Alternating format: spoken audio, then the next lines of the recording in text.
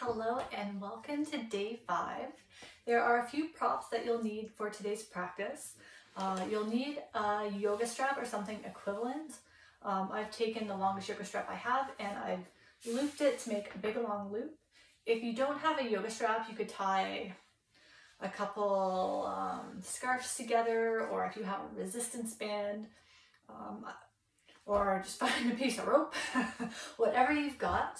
Um, so that's the first thing. The second thing, if you have it, um, two yoga blocks that are around the same size.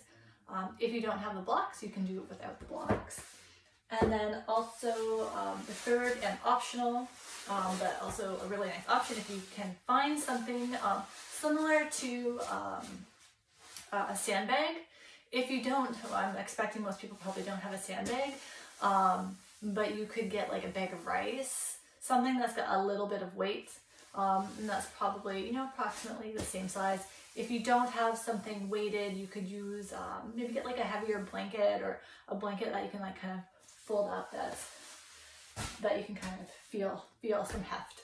Okay, so if you need to put the video on pause to go grab those things, do that, and then we'll come back and get started. Okay, so to begin, um, my invitation is for you to come into a comfortable seat. Um, you could be sitting on something on the floor, you could be sitting on a chair, um, you could be standing on your knees, you could be standing on your feet.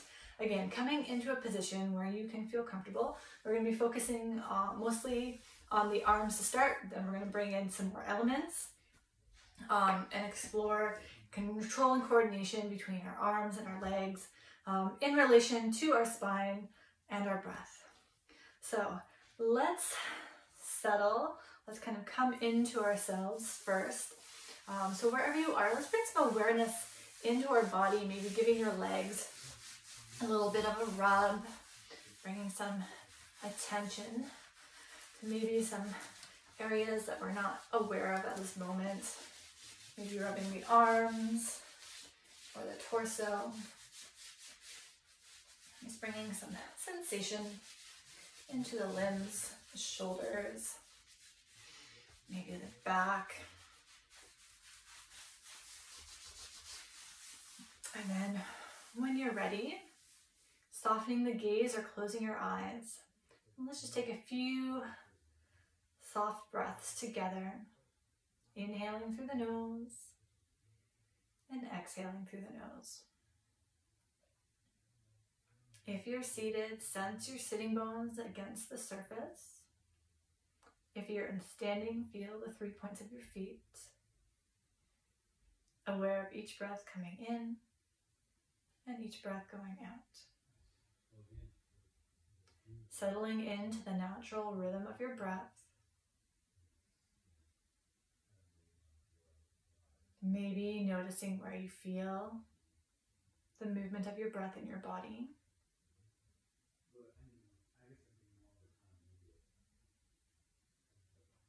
Three more rounds, just quietly and gently.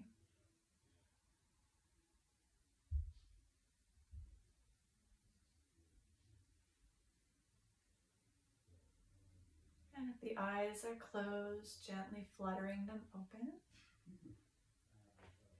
And let's begin to explore um, our first movement, which is going to be a preparation for eagle arms. So if you practice yoga, you might be familiar when the arms get all twisted up, um, something like this. So we're not going to jump right into that because that's maybe not accessible to everyone. So let's just start bringing one arm forward and bending the elbow.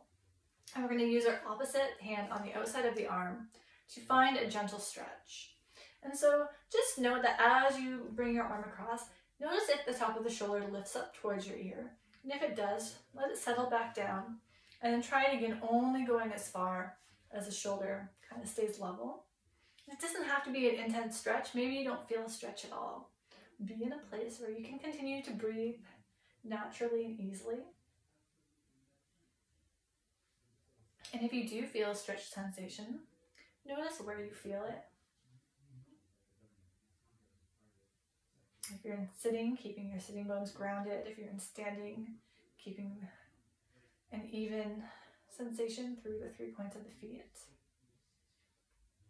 And then what we can do, I'm going to keep my hand on my upper arm, just a little bit of resistance as I start to rotate my arm so my fingertips come towards the ceiling.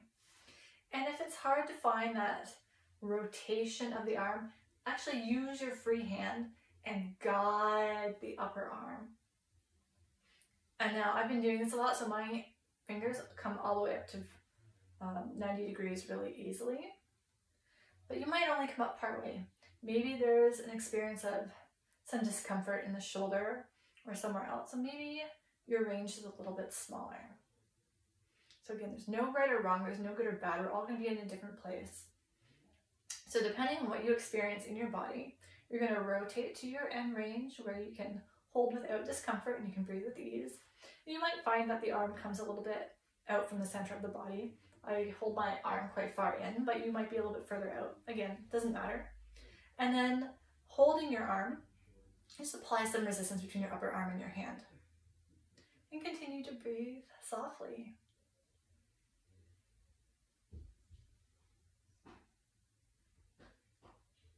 Good. And you can let the arm rotate back down and release.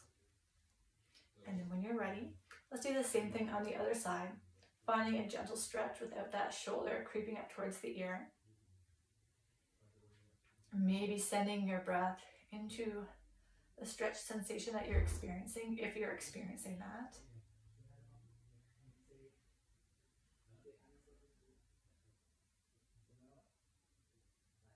And then releasing the, the stretch and then starting to explore rotating the arm up.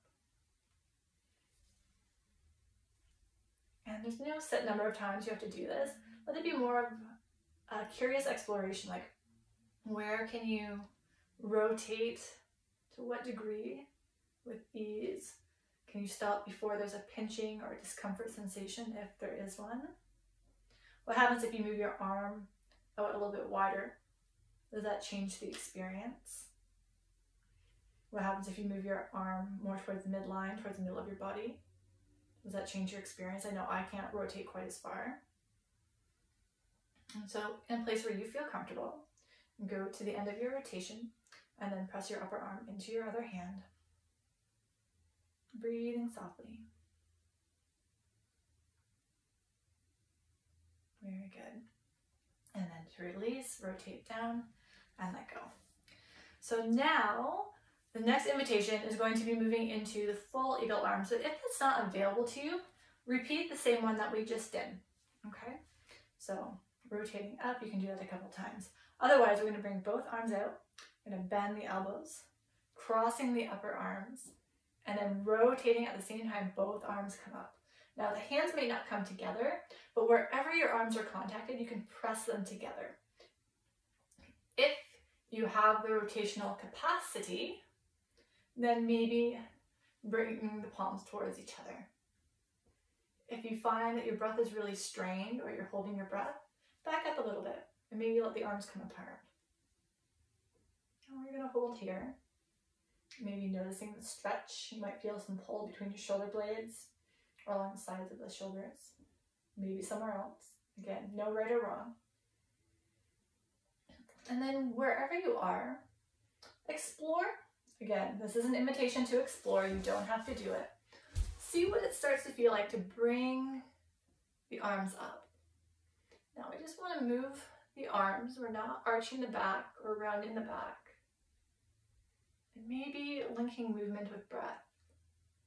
Inhaling, the arms lift, and exhaling, the arms come back down. Try this a couple times, and if it doesn't work for you, skip it.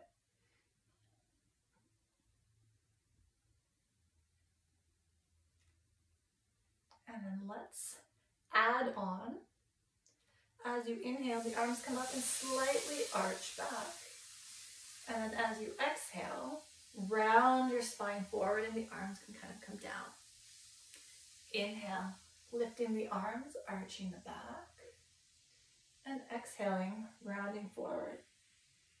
So again, different movement. Now we're bringing flexion and extension into the spine as well as moving the arms. And notice what that feels like for you. Again, if it's not a good one, skip it. We'll do maybe one more of each. And then from center, We'll release our arms down gently. And then just take a moment and notice what you feel through your arms, through your neck, through your back, through your chest.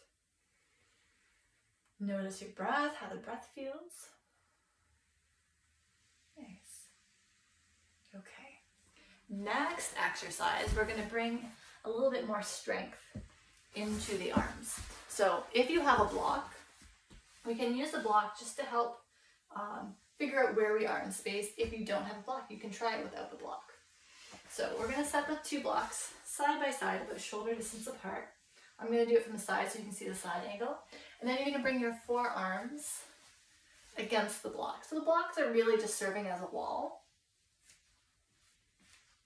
And so we're on our hands and knees. So if hands and knees is not a good option for you, you can go to the wall um, and explore the wall push-ups that we did um, earlier this week. Or you can even maybe try this against the wall. So settle in here. We're going to keep a neutral spine, which means our spine's not going to round or arch. And the movement's coming from the hip and from the shoulder and the elbow. So the hips are going to start to come forward. So now the shoulders are going past the elbows. And at some point, you're not going to be able to go any further, so you're going to start to bend the elbows and then coming back. And looking down towards the floor as you do it. Keeping the forearms against the block, bending the elbows, and then coming back up. And so it might feel like you, you're going to face plant into the floor. Just keep the movement really small and go slow. Take pauses, take breaks in between each one. Coming forward, elbows bend, and then coming back up. Notice how your abdomen responds without actually having to do anything there. And then take a break when you're ready. So that's a fun one to explore. You really feel it in your arms and maybe in your forearms as well. All right, so let's give our arms a little break. Well, that's not completely true. We're gonna give them a little, a little-ish rest from the strength part. So we're going to come down to lying down, but have your strap handy. So strap in hand, coming down into a constructive rest, which means knees are bent and feet are hip distance apart. And just take a moment to settle. And then when you're ready, we're gonna take one end of the loop. You're gonna loop it around your foot. Let's start with our right foot. And the other end of the strap is going to come around the wrists. So the arms are straight up in the air, elbows straight, and then the right leg is straight as well. And I'm going to keep my left knee bent. And we're going to coordinate the movements. I'm going to start to take my arms overhead. And my foot's cotton strapped, so it's just following along. And then when I can't go any further, I'm to start to reverse. So now my foot's pressing into the strap, and it's taking my arms along with. And then to reverse, the arms or the wrists pull the leg. So we're coordinating the movement between our hip and our shoulder. Neutral spine, so I'm not going so far back that my ribs have to poke up or my back arches. I'm moving in a range where I can breathe with ease. Maybe the leg comes all the way down, maybe it doesn't. So you're just exploring. If you're going really quickly, notice what your experience is to go slower. If you're going very slowly, what is your experience go a little bit faster? Let's do one or two more.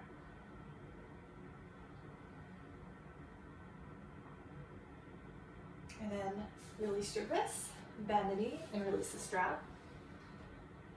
And then we can set up for the other side. If your arms need to have a little bit of a longer rest, take a break. But again, loop around your foot and your wrist. Knee straight, elbow straight. And then start to take the arms back. And then the foot moving away. Getting a sense of what it feels like for your leg bone to be moving in the hip socket, for the upper arms to be moving in the shoulder socket. And simultaneously, right? So arms and legs moving together. Maybe finding a gentle rhythm. Notice if you're moving with your breath. You don't have to, but maybe you just fell into that on your own.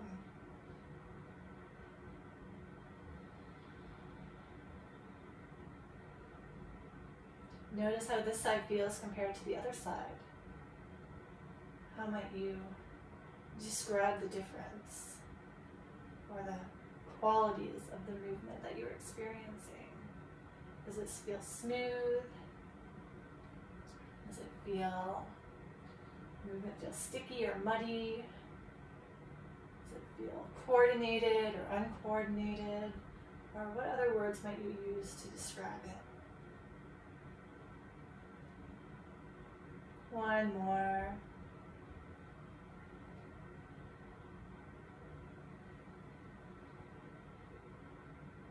Okay. And release your wrist, bend the knees. And set your strap off to the side.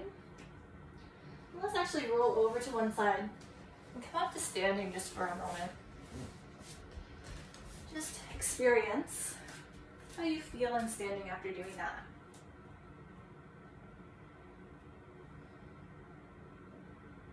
Notice how your feet connect with the ground.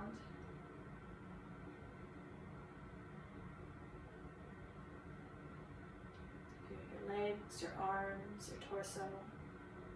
Note your breath.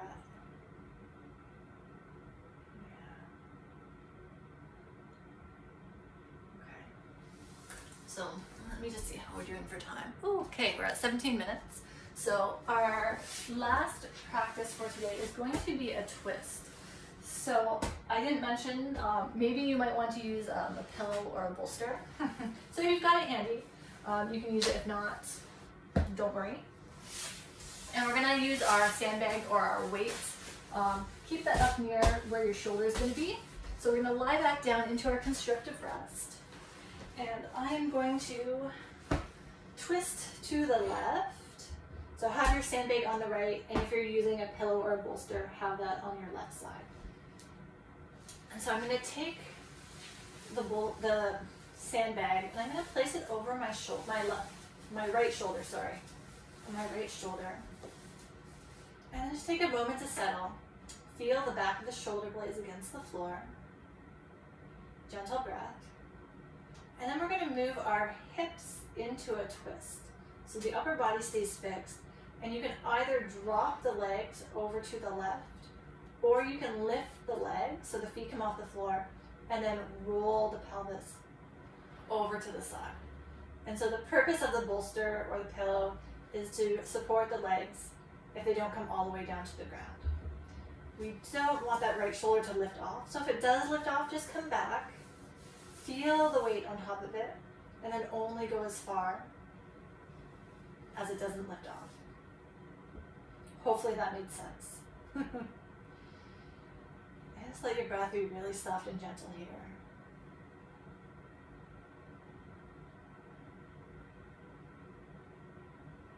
Notice what you're experiencing.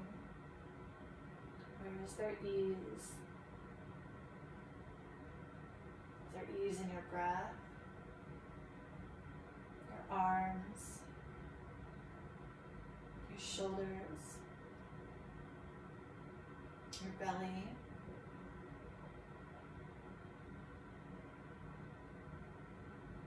Your jaw, maybe, your hands,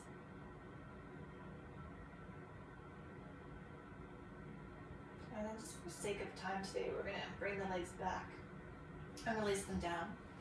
And then we'll move our sandbag or whatever weight you're using over onto the left shoulder. Uh, maybe move your pillow over to the other side first.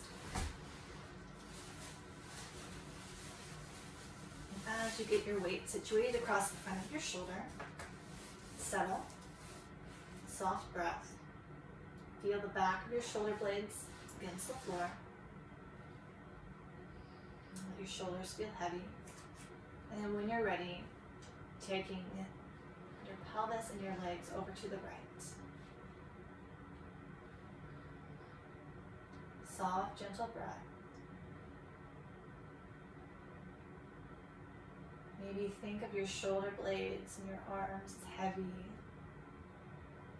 sinking down, firmly grounded.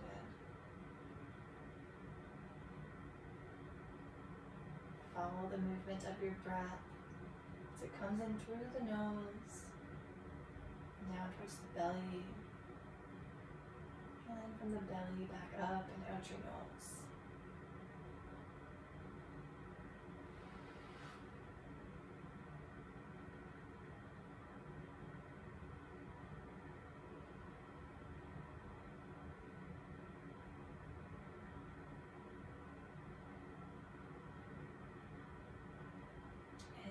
Coming back to center, bringing the feet onto the ground, you can slide the weight off your shoulder. If that felt really nice, feel free to repeat it again. Hold for as long as you'd like. If you're ready to carry on with your day, um, let's come to sitting, palms together, and take a moment now just to honor your mini practice today. It's so important that we take out time, even if it's for 15 or 20 minutes, to ground ourselves, to experience a little bit of personal self awareness. I hope you have a wonderful rest of your day, and I look forward to joining you tomorrow.